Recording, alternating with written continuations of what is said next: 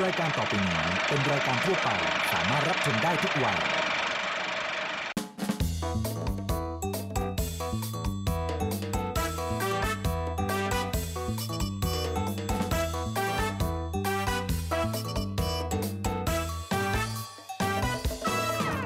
สวยเฉียบเนียบ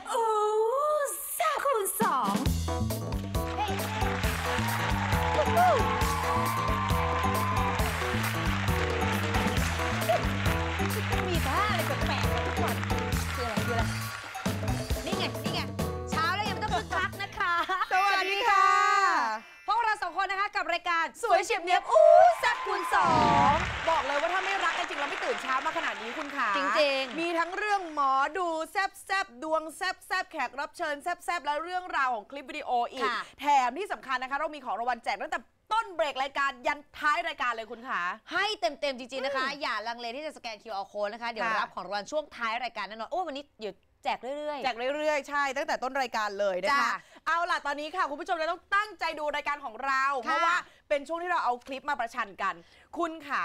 สัตว์หลาย ๆ ประเภทเนี่ย ถ้าเกิดการให้นมกันก็เป็นเรื่องปกติถูกต้แต่องถ้าสัตว์ต่างสายพันธุ์แล้วมาให้นมกันเนี่ย เออมันเป็นเรื่องแบบน่าทึ่งเหมือนกันนะ เออ มันเป็นความรักความห่วงใยของสัตว์แต่ละประเภท ใช่ เป็นความผูกพันนะคะ บางทีพอมีน้ำนมไง เป็นอืมคุณแม่มีน้ำนมปุ๊บ ถ้าเกิดลูกไม่กินปุ๊บ มีตัวอื่นมาจะให้กินก็กินเขาได้ให้ให้กินได้นะคะ อันนี้ค่ะ เป็นแม่ลูกบุญธรรมที่ไม่ใช่คนนะคะ เป็นแม่เป็นหมาคุณ หมาก็ชี้ไปทางไหนล่ะ แม่มาชี้ไปทางฉันทำไมล่ะ แม่เป็นหมา เออ ชี้ไปทางนู้นสิลูกเป็นโอพอสซัมคุณรู้จักโอ้ปะพอซ้ำคือตัวอะไร เขาบอกว่าเป็นสัตว์คล้ายหนูที่มีถุงหน้าท้องเหมือนจิงโจ้ โอ้พอซ้ำเออนะคะ คนละสายพันธุ์เลยคือต่างกันเลย แต่ว่ายอมให้ดูดนมจุ๊บจุ๊บจุ๊บไปดูกันดีกว่า จุ๊บจุ๊บจุ๊บนี่เออเหมันหนูอะ เออ เป็นหนูนะคะ เขาบอกว่ามันคล้ายหนูแต่ว่ามันมีถุงหน้าท้องด้วยอะคุณค่ะ เราไม่เคยเห็นนะคะ นี่เลยค่ะน้องหมาตัวนี้นะคะ เขามีน้ำนมเหลืออยู่นะคะ เต็มใจค่ะให้เจ้าหนูเหล่านี้เจ้าโอพอสซัมเนี่ยนะคะ สูบเต็มที่เลยค่ะ เพราะว่าได้ชื่อว่าเป็นแม่หมาบุญธรรมนะคะ ก็ยอมให้ลูกทำทุกอย่างนะคะ ตัวนี้ค่ะชื่อว่าเจ้าพริทินย่านะคะ สุนัขเพศเมียที่ต้องกลายมาเป็นคุณแม่จำเป็นให้กับบรรดาลูกโอพอสซัมกำพร้าทั้ง 5 ตัวค่ะ หลังจากที่แม่แท้ๆของพวกมันเพิ่งตายไปนั่นเองค่ะ ไม่ว่าเจ้าพรีทินย่าเนี่ยนะคะจะอยู่ที่ไหนก็จะต้องเห็นแก๊งโอพอซัมน้อยอยู่ที่นั่นด้วยตลอดเวลานะคะ ไม่เว้นแม้แต่ตอนที่ออกไปเดินเล่น ก็ไม่วายกระเตงเหล่าโอพอซัมขึ้นหลังพาไปด้วยเหมือนกันนะคะ แม้ว่าเขาจะคนละสายพันธุ์นะคะแต่เห็นรักกันแบบนี้บอกเลยว่าทำเอาเจ้าของของเขาเนี่ยนะคะคุณสเตฟานีมาลโดนาโดนะคะเจ้านายของเขาเนี่ยอึ้งไปเหมือนกัน เพราะว่าไม่คิดว่าหมาของตัวเองจะยอมรับเหล่าโอพอซัมน้อยได้ดีขนาดนี้ค่ะ แถมยังบอกมาอีกนะคะว่า 6 ตัวนี้รักกันจนถึงขั้นอาจจะแยกจากกันไม่ได้เลยละค่ะ เกาะกันไปแบบนี้ค่ะ กระเตงกระเตงกันไปอย่างนี้แหละค่ะ คือพอมันเริ่มมีขนอะ มันดูเป็นออกพอซ้ำแล้วเนาะ ใช่ ตอนเล็กๆก็มันดูอ๋อเหมือนหนูเป็นโออะโอพอสซัมโอพอซ้ำเออโอพอจะซัมพูดว่าอะไรอะอ๋ออ๋อไม่ใช่ไม่ได้ไม่ได้พูดคำนั้นโหหาเรื่องซานี้ดิจะพูดโอพอซ้ำ โอพอสซัมเนาะเออ เมื่อตะกี้เมื่อตะกี้เพิ่งเกิดไงมันตอนดูที่เป็นเราแบบเห็น มันดูเป็นหนูอะแต่เนี้ยเอพออมีขนแล้วมันดูแบบเออเป็นเป็นเหมือนแบบสัตว์ที่เราไม่เคยเห็นนะเนาะเอ้ยแต่จะอีกหอมาย่างนี่เหมือนหมาไทยเลยเนาะ เออนั่นน่ะสิ มันเหมือนพันธุ์ไทยะชื่อพรีทินย่านะคะ เออ เขาก็ไม่ได้บอกเนาะว่าที่จากเมืองไทยหนก็มีตอนน้ำท่วมเห็นหลายตัวเลย เกาะขึ้นแบบนี้เหรอเกาะขึ้นมาบนตัวหมาเหมือนกันแมงสาบด้วยไม่เอาเถอะน่ากลัวหนีน้ำอะเอออันนี้ก็เป็นความน่ารักนะคะเขาเรียกว่าเป็นการแบ่งปันกันอะเนาะ เอเอออ อันนี้ก็แบบมันเหมือนมาดูแลเป็นแม่ แทนแม่ของพวกเขาไป ความรู้สึกจิตใจของของสัตว์หลาย ๆ ประเภทเนี่ยมันเหมือนคนเลยนะ ใช่ห่วงหาอาทรเจ็บเป็นโกรธเป็นใช่ถูกเนี่ยแหละต้อง ต้องดูแลเขาดี ๆ ถ้าเลี้ยงเขาไว้นะคะ อันนี้ก็น่ารักเหมือนกันคลิปค่ะของซานีน่ารักแล้วใช่ไหมค่ะของชมพู่ก็น่ารักเป็นคลิปของน้องหมาเหมือนกัไหนแต่ว่าอะ เป็นน้องหมาที่ผ่านตัวเองมาเป็นผู้พิทักษ์หืม คิดว่าหมาจะดูแลอะไรได้ ดูแลคนไงนี่ดูแล เบบีดูแลเป็ด ดูแลเป็ด ดูแลลูกเป็ด เฮ้ย ทำไมอะเป็นหมาที่พิทักษ์ลูกเป็ด ลูกเป็ดจะไปไหนน้องหมาก็ดูแลว้ายขอดูหน่อยจิน่ารักไปดูเลยว้ายไอ้เป็ดน้อยไม่กินนะ ไม่กินนะ ไม่กิน เคยแค่อมอมๆหัวเข้าไปเฉยๆไม่เคยเคี้ยวเข้าไม่ไปเอาสิทำหน้าที่เป็นบอดี้การ์ดสี่ขาได้แบบว่าไม่ขาดตกบกพร่องนะคะสำหรับตูบสองพี่น้องค่ะพิกเลตและแพตตี้ คอยดูแลสองเป็ดน้อยนะคะเพน เพนกวิน และป๊อปปินเจ ดูตั้งชื่อสิ สมาชิกใหม่ของครอบครัวที่ถูกรับมาเลี้ยงจากองค์กรพิทักษ์สัตว์ค่ะ ปกป้องคุ้มครองแบบไม่คลาดสายตา บอกได้เลยว่า 2 ตูบเนี่ยมีพื้นฐานเป็นหมารักเป็ด ทุนเดิมเขาหมารักเป็ดอยู่แล้ว เพราะก่อนจะมี 2 เป็ดน้อยเข้ามาอยู่ในบ้านเนี่ย เจ้าพิกเลตและแพตตี้เนี่ยนะคะ เป็นเพื่อนซี้กับเป็ดตุ๊กตา นี่นี่อันนี้คืออะไรอะ เป็ดจิก เอ้ยเอ้ยนึกว่ากินเอ้ยนึกว่าหนอนนะดิ เอ้ยเอ้ยจะกิน นึกว่าเป็นเป็นหนอนอะไรอย่างนั้นน่ะดิ แล้วมาแต่ว่าดีนะมันไม่หมาไม่รำคาญนะไม่ไม่ตะปบอะเนาะอออดฉันเคยเลี้ยงเหมือนกันเคยเลี้ยงลูกเจี๊ยบ แล้วพอเลี้ยงเลี้ยงไว้ตะปบ เผื่อแป๊บไหมเดียว แมวเข้ามาฆ่าไปนั่นอะน่ะสิสิ น่าสงสารแต่อันเนี้ยที่เขาบอกว่าจะจะเล่าให้ฟังว่าทำไมถึงผูกพันกับเป็ดได้เร็วรู้ไหมอ่าอ่าเพราะว่าก่อนหน้าเนี้ยเป็นเพื่อนกับตุ๊กตาเป็ดในบ้านอ๋อ อ๋อ คือเจ้าหมาเป็นเป็นเพื่อนกับตุ๊กตาเลยคุณ เป็นเพื่อนกับตุ๊กตาเป็ด เออคิดว่าเฮ้ยตุ๊กตาออกลูกมาอย่างงี้ แต่ว่าเราไม่มีคลิปตอนผูกพันกับตุ๊กตาเป็ด เพราะว่าจริงๆแล้วตุ๊กตาเป็ดไม่ได้เพื่อนเนี่ยเป็นหมาด้วย เคยเห็นในหนังไหมอ๋อ ที่เขาเขาเขาเรียกว่า เย่เย่หมา อ๋อ ไม่เอาหน่ะเราอะ เนี่ยพอมันผูกพันมันก็รอให้ตอกตัวเนี้ยโตเออบ้าเหรอล้อเล่น ไม่ทำให้เจ้านายผิดหวังเลยนะคะ แถมบางครั้งก็มียอมให้นอนกอดอย่างเงี้ยนอนยอมนเออนอเดี๋ยวนะกอตัวตัวน้ำตาลจะตายหรือเปล่าฮะไม่ตายมันหอ๋ออบหายใจเนาะหอบเนาะ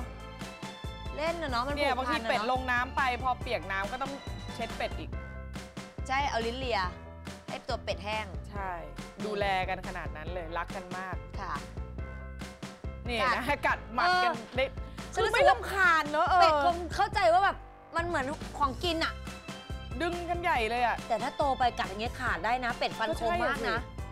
แต่ตอนนี้ยังรักกันอยู่ดูที่เอาไว้ในอ้อมกัดอทุกอะอันอะคืออะไรอะอะไรอะกินกินกินเอ๊เอะอนะคะน่ารักมากเลย เป็นเขาเรียกว่าเป็นสัตว์ต่างสายพันธุ์ทั้งสองใช่คลิปวิดีโอเลยนะคะมเอาล่ะ ขอดูคะแนนหน่อยซิ คะแนนเป็นยังไง แต่วันนี้น่ารักทั้งหมดนะ น่ารักทั้งคู่นี่คล้าย ๆ กันเออความผูกพันในยคล้าย ๆ กันเลย ขอดู ดูสิ ไหนไหนไหนอะ ไรยังไง มาอ่าเท่ากัน น่ารักมาก เธอต้องเต้นเป็นตัวออฟซัมใช่ และฉันอะคุณต้องเต้นเป็นเป็ด กินเดือย กินเดือย เดือยพี่ปากอะเดือยเนี่ย หนังปากหมา เขาเรียกว่าอะไรนะ หนังปากหมาหนังปากไม่ใช่เดือย หนังปากหมาใช้น่ากลัวคำศัพท์มากผิดอะตลอดแล้วหนัเอางดิปากเต้นหมาน่าเต้นกลัวคู่ให้ดูในเบรกเออสามนะคะค่ะแต่ว่าตอนนี้ไม่ต้องเต้นมีของกินมาฝากไหมวันเนี้ยใช่แล้วค่ะ จากรอยไทยไอเดียค่ะ จะอร่อยแค่ไหนไปดูกันค่ะ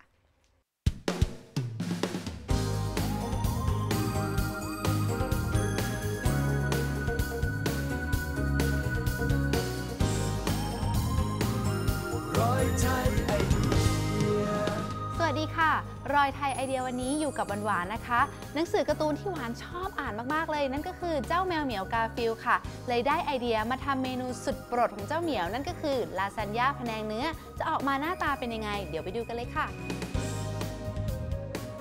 ขั้นแรกนะคะ ก็นำเนยนะคะ ใส่ลงไปก่อน เนยละลายหอมเรียบร้อยนะคะ ก็ลงแป้งอเนกประสงค์นะคะ ก็ใช้วิสคนค่ะ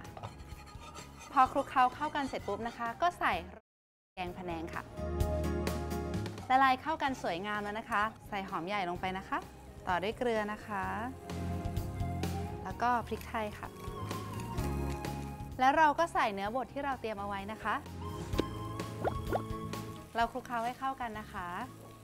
พอเห็นว่าเริ่มสุกนะคะ ก็ปิดไฟ เอาละเดี๋ยวเรามาประกอบเป็นลาซานญ่ากันค่ะ เริ่มแรกเอาแป้งลาซานญ่าลงเลยนะคะ เนื้อที่เราผัดไว้นะคะ ต่อด้วยชีส เราจะทำกันทั้งหมด 4 ชั้นนะคะ แบบนี้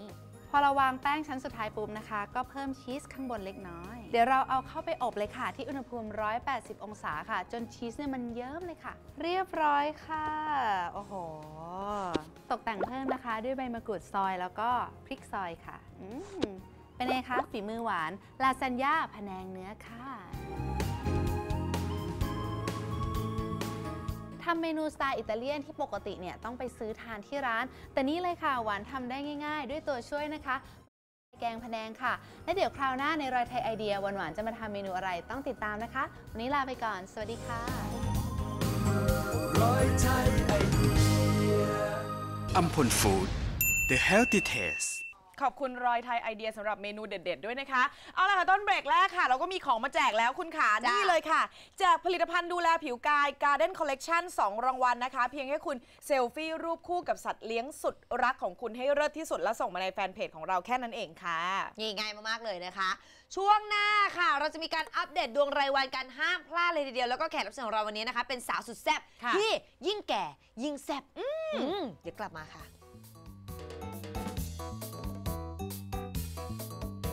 ลากราสคลินิก